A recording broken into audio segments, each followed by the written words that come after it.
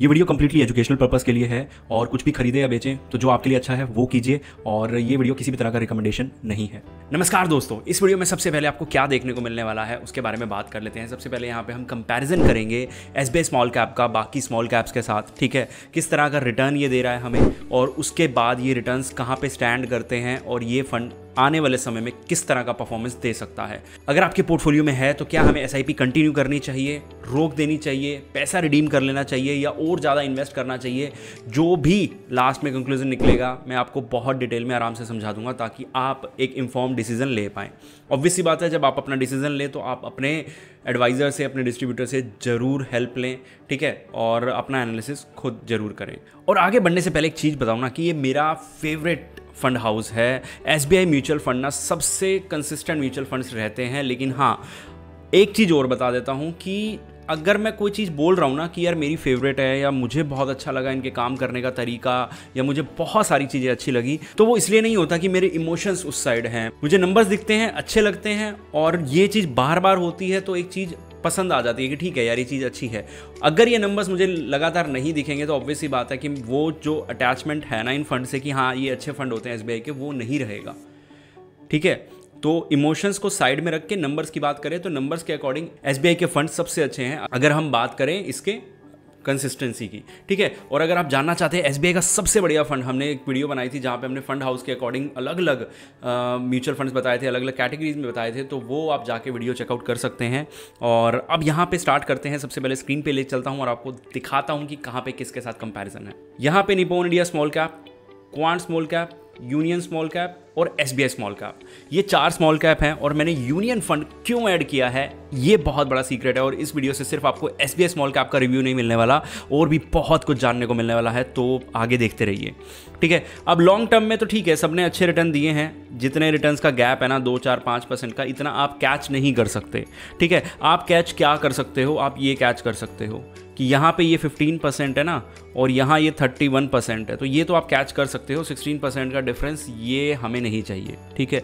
और जिन लोगों ने पिछली बार बहुत सारे फंड्स ऐड कर लिए थे ना एस बी आई एक्सेस ये, वो। तो उनको ना तो ये रिटर्न ना ये रिटर्न अगर वो यूनियन का स्मॉल कैप भी उठा लेते ना तो भी उनको 23 मिलते। अब एवरेज जिन्होंने बहुत सारे उठा लिए तो उनको नहीं मिलने वाले रिटर्न तो क्या आपने एसबीआई अगर अकेला उठा रखा था, या किसी के साथ उठा रखा था? दो फंड है यहाँ पे आपके पास SBI स्मॉल कैप और कोई भी X Y Z small cap तो क्या आपने गलती करी, या सिर्फ़ SBI उठा के आपने गलती करी? ये बहुत बड़ा क्वेश्चन मार्क है आपने। ठीक है? हाँ अगर नंबर्स की बात करें तो हमारा डिसीज़न उतना अच्छा साबित नहीं हुआ। अगर आपने सिर्फ़ एस स्मॉल कैप रखा 2023 में अपने पोर्टफोलियो में तो ये एक बहुत अच्छा डिसीज़न नहीं था। ठीक है? उसके बाद अब इस डिसीज़न का गलत होने का या फिर आगे ये गलत हो सकता है या नहीं, उसके बारे में बात कर लेते हैं। स्टैंडर्ड डेविएशन बहुत अच्छा है। तो मार्केट जब उथल पुथल हो रही होती है ना तो इस तरह के फंड बहुत काम आते हैं। ठीक है, आपके पोर्टफोलियो में है, ये अच्छी बात है। शार्पे रेशो ठीक है 1.83 है बीटा काफ़ी अच्छा है सोटिनो ओके है ओके मतलब बाकी सबसे बेहतरीन है, और अल्फ़ा उतना ज़्यादा हाई नहीं रहा अल्फ़ा थोड़ा सा नीचे आ गया है, ठीक है। एक और चीज़ इसमें अच्छी है कि टॉप थ्री में ना आपको फाइनेंशियल सेक्टर नहीं मिलता टॉप थ्री छोड़ो टॉप फाइव में नहीं मिलता। ये मैं आपको बाद में डिटेल में दिखाऊँगा। उसके बाद Nippon India small cap fund और quant small cap S B I small cap union अगर इन सबको हम टर्न ओवर रेशो के हिसाब से कंपेयर करें तो यहाँ देखो भाई टर्न ओवर रेशो आपको दिख रहा होगा होपफुली स्क्रीन पे यहाँ पे नंबर दिख रहा होगा आठ, यानी कि जस्ट अगर सौ फंड हैं तो पूरे साल में सिर्फ़ आठ फंड चेंज किए जाते हैं। ये ट्रस्ट है। मतलब ऐसा नहीं है कि रिटर्न्स नहीं मिल रहे तो ट्रस्ट बिल्कुल चला गया और इन्होंने उथल पुथल शुरू कर दी। मोस्टली फंड्स के साथ होता है कि टर्न ओवर रेशो बढ़ जाता है अगर रिटर्न्स नहीं आते तो। ठीक है? मैं आपको हमेशा बोलता हूँ कि इस चीज़ पर ध्यान मत दिया करो। अब एक चीज़ सोचो। अगर आपने सिर्फ़ एक्सपेंस रेशो देख के ये फंड छोड़ दिया होता यूनियन वाला, पिछले एक साल में और या फिर आपने ये वाला मतलब क्वालिटी की बात कर रहा हूँ। आपने ये ले लिया होता कि यार मेरा एक्सपेंस रेशो यहाँ तो हाफ़ परसेंट बच रहा है। आपने ये हाफ़ परसेंट तो बचा लिया, लेकिन लास्ट वन ईयर में इसका रिटर्न तेईस परसेंट है मेरे भाई। ठीक है? और यहाँ पे इसका अगर मैं यहाँ नीचे दोनों को माइनस कर दूँ ना फाइव ईयर्स के टाइम स्पैन पे भी, यहाँ पे मैं वन माइनस कर दूँ तो तेईस पॉइंट छः यानी कि ट्वेंटी थ्री पॉइंट सिक्स आ गया और मैं यहाँ हाफ़ माइनस करूँ तो twenty two point nine zero तो भी आप ज़्यादा एक्सपेंस रेशो दे के भी यहाँ पर ज़्यादा रिटर्न जनरेट कर रहे हो। ठीक है? तो बहुत महान एक्सपर्ट जो लोग बैठे हैं ना थोड़ा कम सुना करो सबकी कि हाँ एक्सपेंस रेशो से आपके रिटर्न्स बहुत बढ़ जाएँगे। कुछ नहीं बढ़ने वाला, जब तक आपके फंड की क्वालिटी अच्छी नहीं होगी, जब तक आपको ये नहीं पता कि आपको किस फंड से कहाँ से कब निकलना है।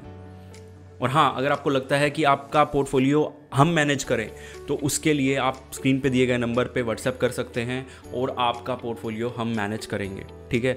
ये लास्ट मतलब फिर कुछ गैप आ जाएगा। अगर आप चाहते हैं कि आप अभी स्टार्ट कर लें नवंबर में तो शायद ये लास्ट वीडियो होगी, जहाँ पे मैं आपको बोल रहा हूँ। उसके बाद अभी कुछ दिन का गैप आ जाएगा, ठीक है? तो होपफुली आप इस चीज़ का फ़ायदा उठाएँगे। और एटलीस्ट इतना तो कर सकते हैं कि अगर आप जानना चाहते हैं तो एटलीस्ट आके हम बात तो कर सकते हैं कि ठीक है, क्या सर्विसेज़ हैं और आपको किस तरह से बहुत ज़्यादा बेनिफिट होता है।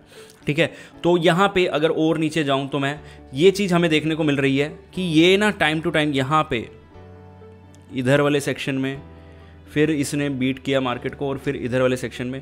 तो छोटा छोटा एक दो जगह है जहाँ पे ये अपनी कैटेगरी एवरेज को बीट नहीं कर पा रहा और बहुत बड़े मार्जिन से नहीं पीछे है। ठीक है, इसको हम डिटेल में और ज़्यादा देखेंगे आगे और यहाँ पे अगर सेक्टर वगैरह को देखें, थोड़ा सा नीचे जाएँ तो इसके ट्रेलिंग रिटर्न्स की अगर मैं बात करूँ तो यहाँ पे ख़राब रहे हैं।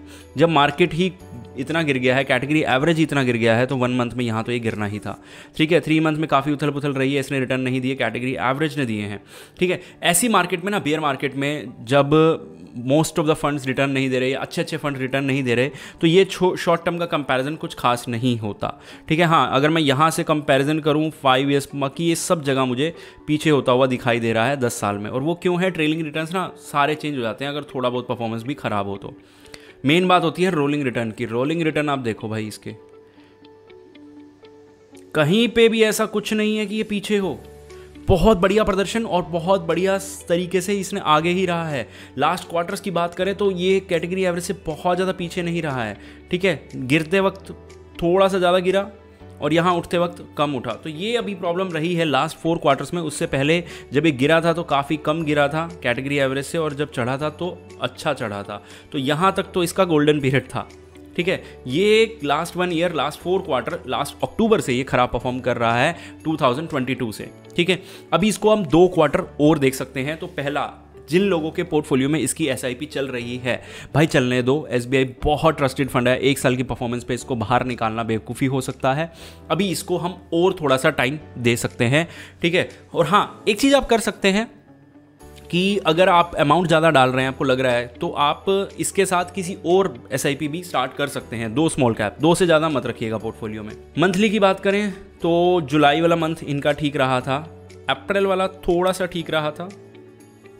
फेब वाला थोड़ा सा ठीक रहा था, लेकिन पॉजिटिव सिर्फ़ अभी तक जुलाई रहा है, बाकी ज़्यादा कुछ पॉजिटिव रहा नहीं है।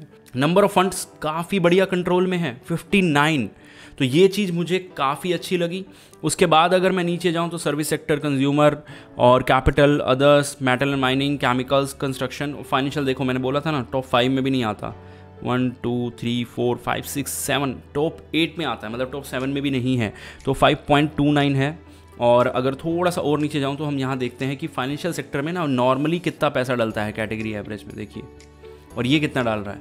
और ये इतना ही डाल के इसी स्ट्रैटेजी से हमेशा इसने रिटर्न्स कमाए हैं तो आप ये नहीं बोल सकते कि यार हाँ अगर ये उल्टा चल रहा है तो रिटर्न भी कम दे रहा है। लास्ट चेंजेस जब होते ही नहीं है तो क्या इसने चेंज करना है? तो बस जो ऑलरेडी इनके पास फंड है, उसमें से थोड़ा बहुत सेलिंग हो गई, थोड़ा बहुत नई बाइंग हो गई ब्लू स्टार में जैसे बाइंग है एलआईसी हाउसिंग फाइनेंस में बाइंग है फिनोलेक्स इंडस्ट्री में इन्होंने पूरी सेलिंग करी है। तो ये सब चीज़ें थोड़ी बहुत चेंज हुई हैं, जो इनका पूरा पोर्टफोलियो दिखता है, वो ये दिखता है। ठीक है? निफ्टी बैंक टोटल ऊपर इनका रहा है, ब्लू स्टार हो गया और बाकी नीचे बाकी फंड्स देख सकते हैं स्टॉक्स देख सकते हैं। अब यहाँ पे आ जाते हैं, किस कैटेगरी में इसको डालना चाहिए? अगर आप ऑलरेडी सिप चला रहे हैं तो आप सिक्स मंथ तक और वेट कर सकते हैं इसको चेंज करने की बजाय। ठीक है?